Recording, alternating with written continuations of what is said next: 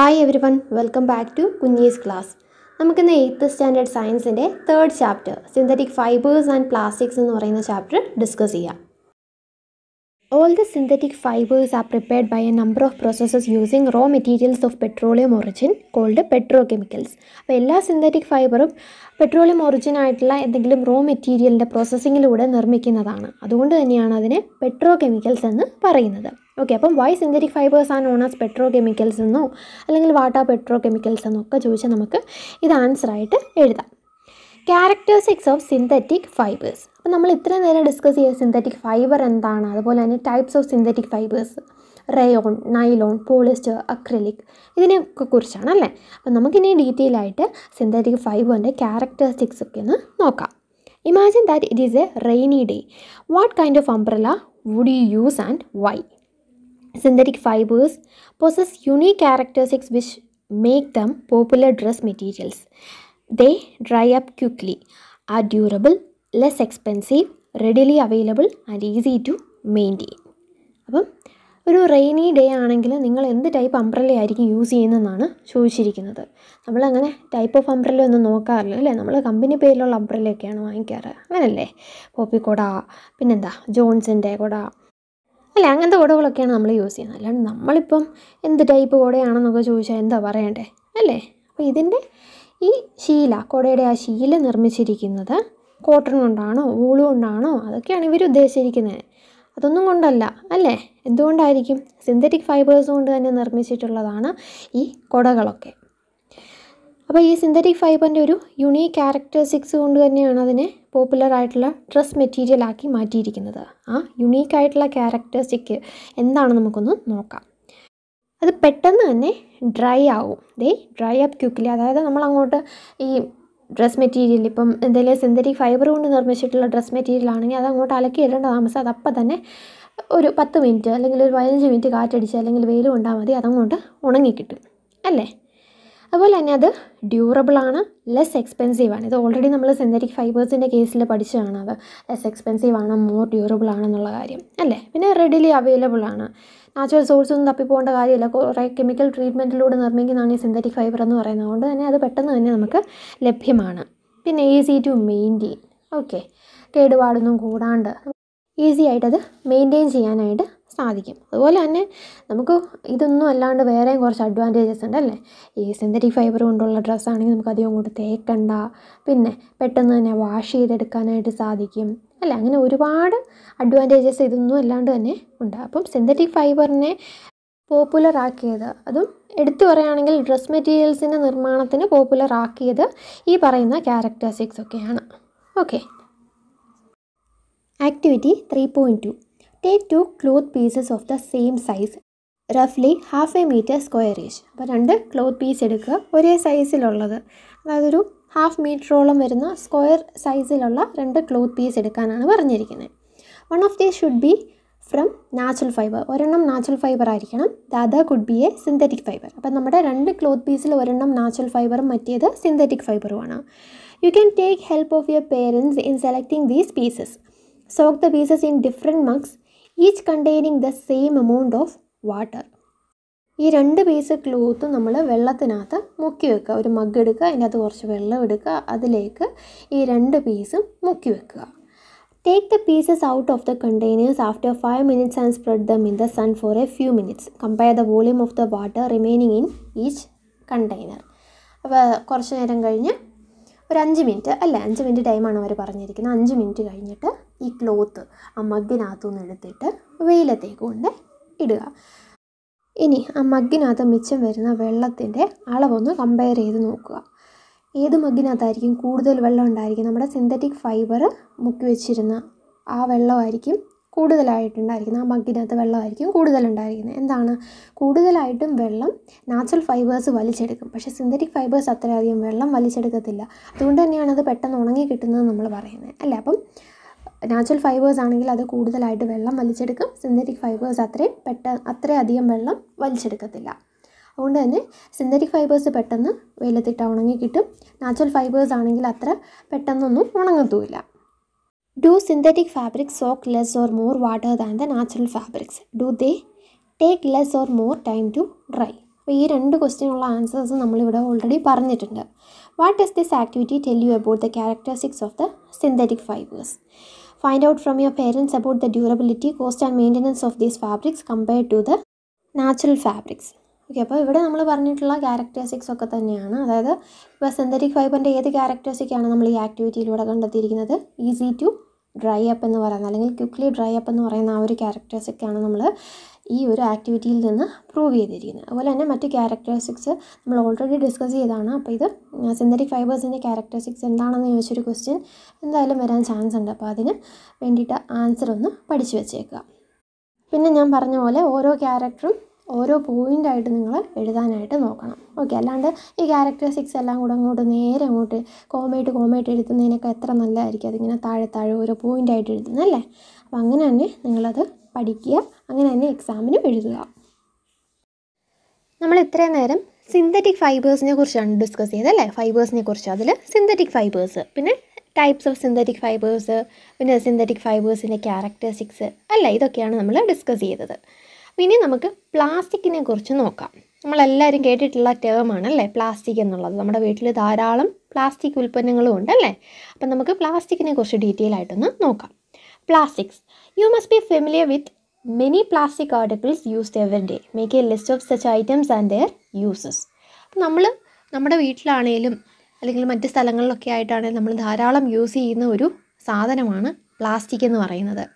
അതിപ്പോൾ എന്താ പറയുക നമ്മൾ ഇരിക്കാനായിട്ട് ഉപയോഗിക്കുന്ന ചെയർ മുതൽ നമ്മൾ കടയിൽ നിന്ന് സാധനങ്ങൾ മേടിച്ചുകൊണ്ട് വരുന്ന കവറ് വരെ പ്ലാസ്റ്റിക് കൊണ്ട് നിർമ്മിച്ചാണ് അല്ലേ അപ്പം അങ്ങനെ ധാരാളം പ്ലാസ്റ്റിക് പ്രൊഡക്ട്സ് നമ്മൾ അല്ലെങ്കിൽ അതുകൊണ്ട് നിർമ്മിച്ച ധാരാളം ഐറ്റംസ് നമ്മൾ യൂസ് ചെയ്യാറുണ്ട്.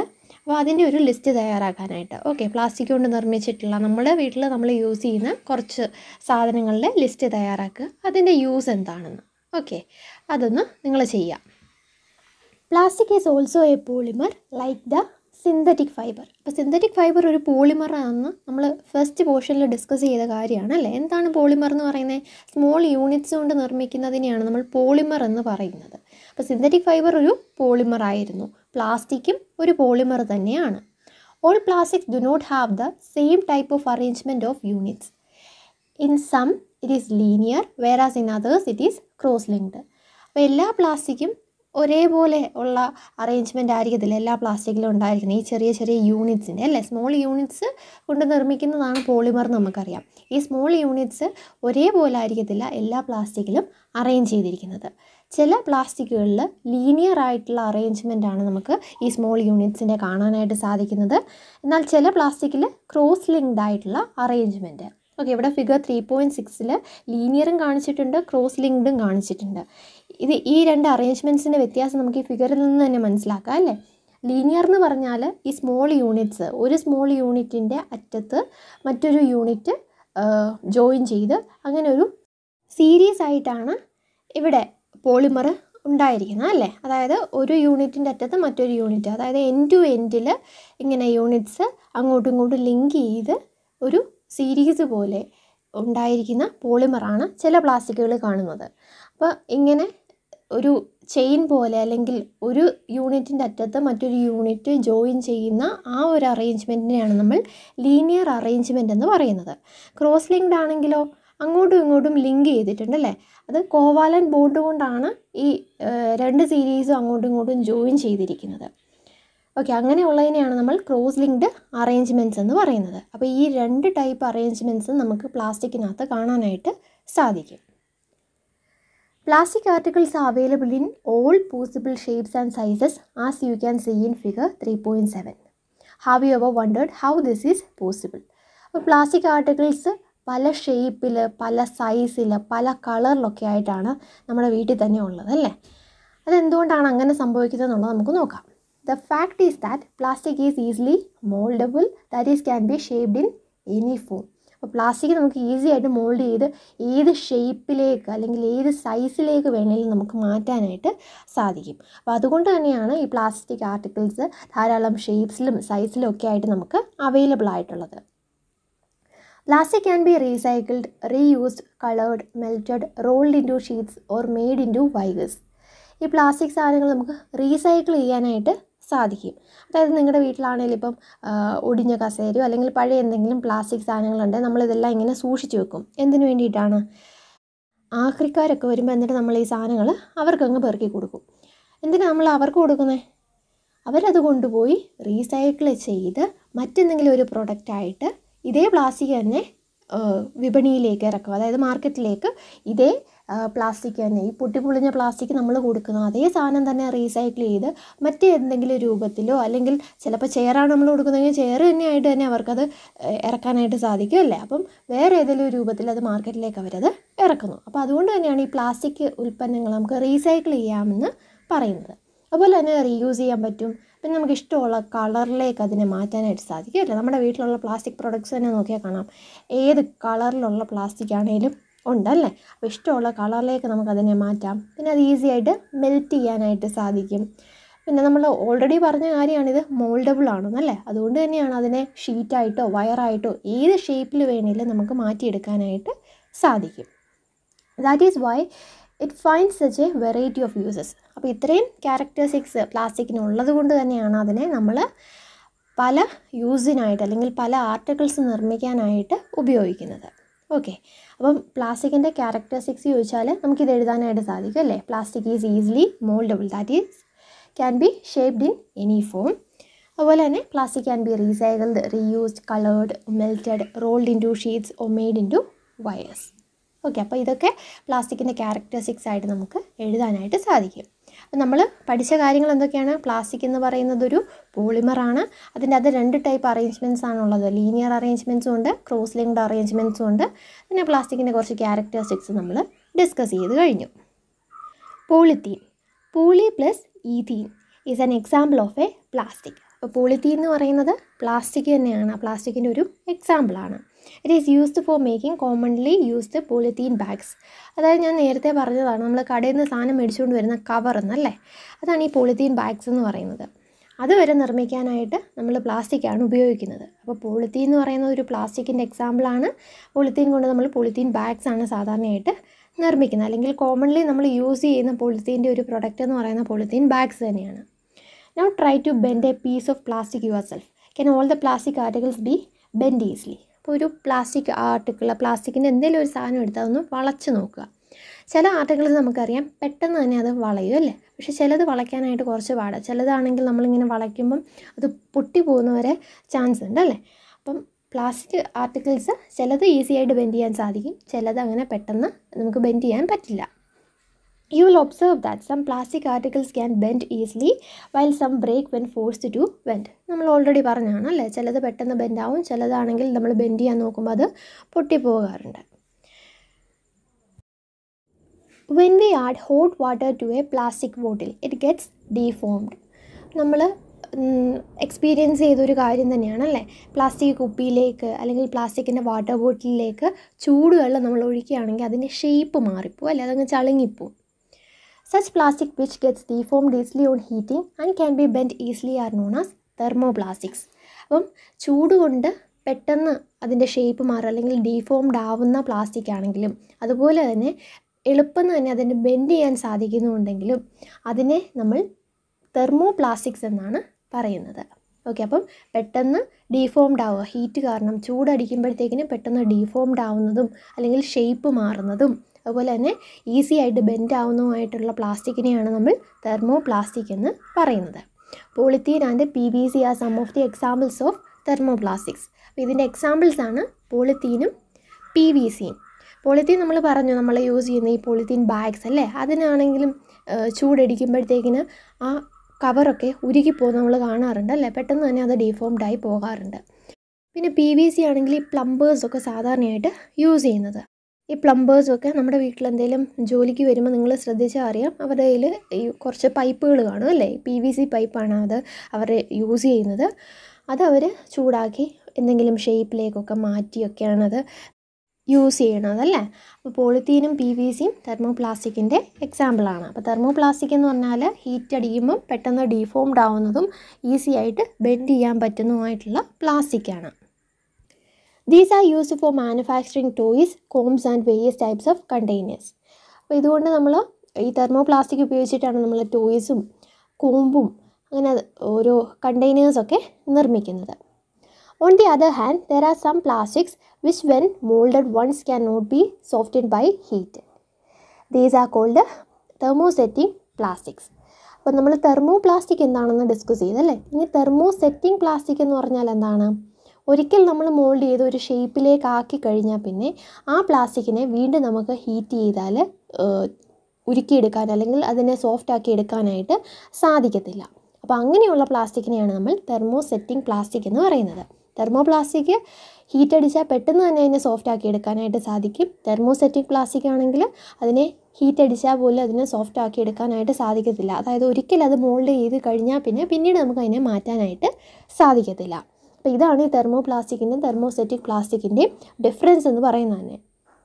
Two examples are bakelite and melamine അപ്പോൾ തെർമോസെറ്റിക് പ്ലാസ്റ്റിക്കിന്റെ എക്സാമ്പിൾസ് ആണ് ബേക്ക് ലൈറ്റും മെലാമിനും തെർമോ പ്ലാസ്റ്റിക്കിനെ നമ്മൾ പറഞ്ഞു പോളിത്തീനും പി വി സി ആണെന്നല്ലേ തെർമോസെറ്റിങ്ങിന്റെയാണ് ബേക്ക് ലൈറ്റും മെലാമിനും bakelite is a poor conductor of heat and electricity it is used for making electrical switches handles of various utensils etcetera bakelite എന്ന് പറഞ്ഞാൽ ഹീറ്റിന്റെ ഇലക്ട്രിസിറ്റിയുടെയും പുവർ കണ്ടക്ടറാണ് അതിലൂടെ ചൂടിനെയോ അല്ലെങ്കിൽ ഇലക്ട്രിസിറ്റിയോ ഒന്നും പാസ് ചെയ്യിക്കത്തില്ല ഈ ബേക്ക് ലൈറ്റ് അതുകൊണ്ട് തന്നെയാണ് നമ്മളത് യൂസ് ചെയ്തിട്ട് സ്വിച്ചും അതുപോലെ തന്നെ ഓരോരോ പാത്രങ്ങളുടെയൊക്കെ ഹാൻഡിൽസ് നമ്മൾ കണ്ടിട്ടുണ്ടല്ലേ ഇപ്പം ഫ്രൈ പാൻ ആണേലോ അല്ലെങ്കിൽ കടായി ഒക്കെ ആയിക്കോട്ടെ അതിനൊരു ബ്ലാക്ക് ഹാൻഡിൽ മിക്കവാറും നമ്മൾ കാണാറുണ്ടല്ലേ അതെന്താണ് സാധനം? ഈ ബേക്ക് ലൈറ്റ് കൊണ്ട് തന്നെ നിർമ്മിച്ചിരിക്കുന്നതാണ്. കാരണം അതിലൂടെ പെട്ടെന്ന് ഈ ഹീറ്റിനോ അല്ലെങ്കിൽ ഇലക്ട്രിസിറ്റിക്കോ ഒന്നും പാസ് ചെയ്ത് പോകാനായിട്ട് സാധിക്കത്തില്ല. അത് പുവർ കണ്ടക്ടറാണ് ഹീറ്റിന്റെ ഇലക്ട്രിസിറ്റിയുടെ അപ്പോൾ അതുകൊണ്ട് തന്നെയാണ് ബേക്ക് ലൈറ്റ് യൂസ് ചെയ്തിട്ട് നമുക്ക് ഇലക്ട്രിക്കൽ സ്വിച്ചസും ഹാൻഡിൽസും ഒക്കെ നിർമ്മിക്കാനായിട്ട്